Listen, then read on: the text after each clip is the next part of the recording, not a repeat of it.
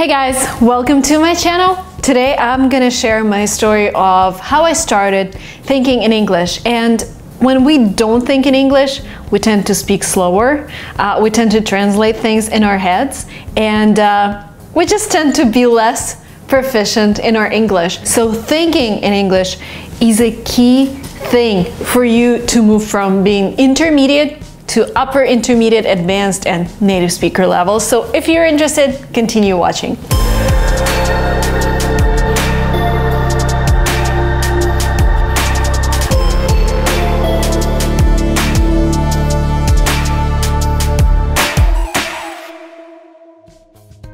If you think that this could happen overnight, uh, it cannot, unfortunately. So my story is uh, I started thinking in English for a couple nights when I was in the UK. I think it was my second or first visit. It was really early on. I was a teenager, so the process went faster. So what happened every morning when I woke up in my homestay uh, with the host family, I would be really embarrassed about my English because my brain is still sleeping and uh, they would ask me questions in English and I would be like, oh my God, uh, they're asking me about my breakfast, but the only way I can say what I want is in Russian in my native language because I just woke up.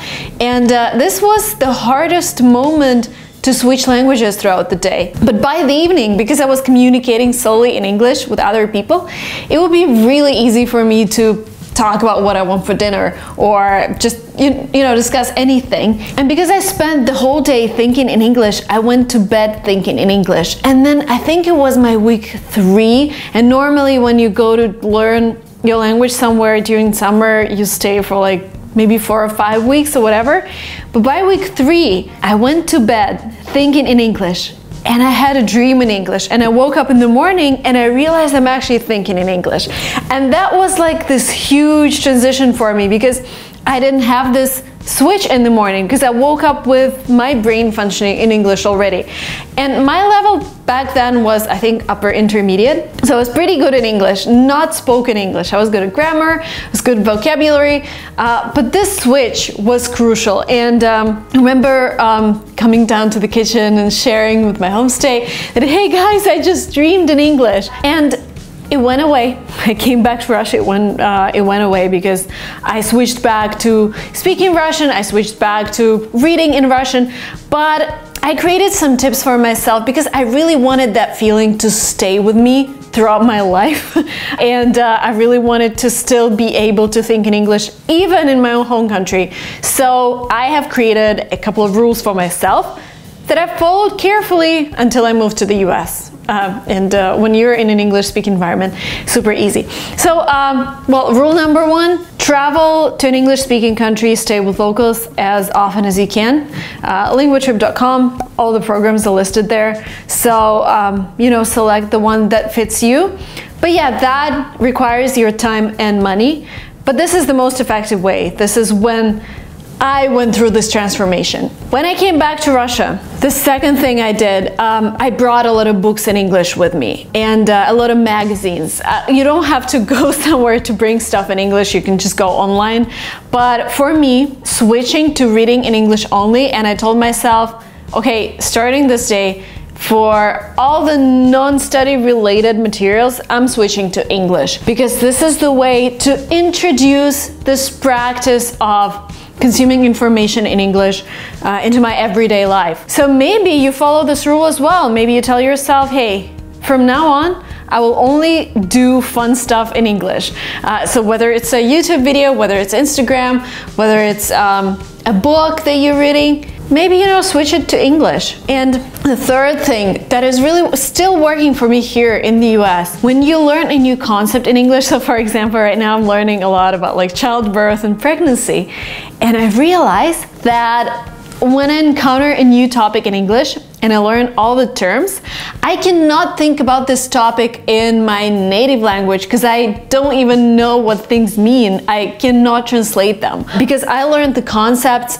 in English straight away. I'm not doing this translation in my head. The fourth tip is that all of us are doing these translations. Like uh, when we're at school, we learn that this is a pencil, but we don't learn the concept, we learn the translation, and they tell you a pencil in your own language, and this is how your brain learns the word. But this is the wrong way. This is not how kids learn language, and uh, your goal is to learn a language like as if you're a kid.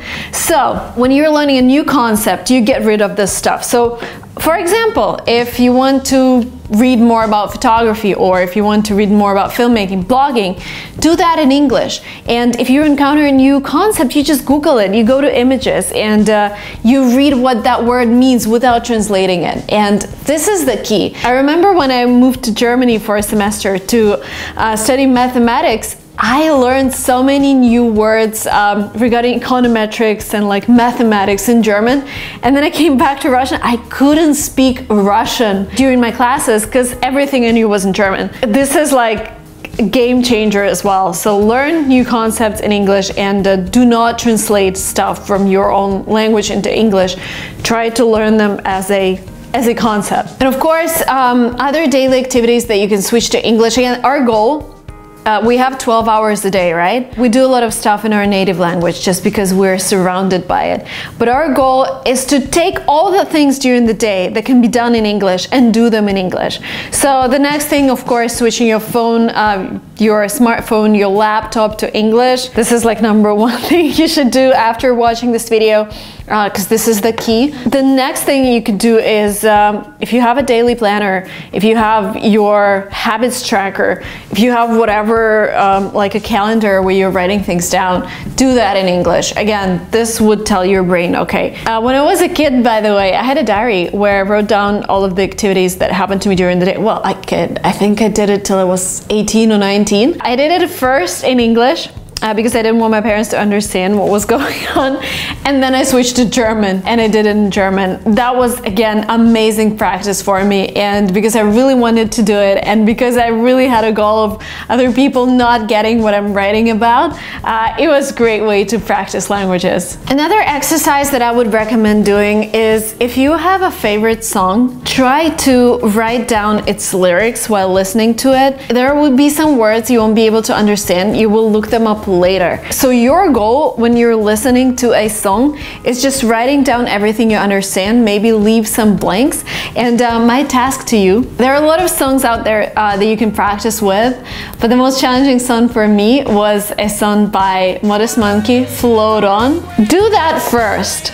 Like, start with that song. You'll be so confused, but the other songs will be so easy. So you just switch on the song and you write the lyrics down. Helps you with listening, helps you with uh, thinking in English, and uh, well, it's going to improve your listening dramatically. And the key thing in all of the things that I've mentioned is being regular. So you start with just one thing per day, maybe like even like switching your phone to English, and then you introduce more and more. And you, if you have an activity tracker and it really looks like it's, oops, Hello. It's a really simple thing uh, when you can make it yourself, like activity tracker. For example, you have English song, and here you have gym, and here you have your supplements or whatever. And like every day, you just put a plus in front of a thing that you've done. So try to introduce a daily habit of like an English song or uh, reading in English. But when you do reading, tell yourself read at least like 10 pages because otherwise reading is very vague. You're like, eh, I've read a text message in English.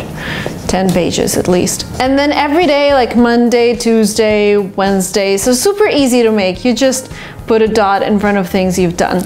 And this way you develop a regular habit.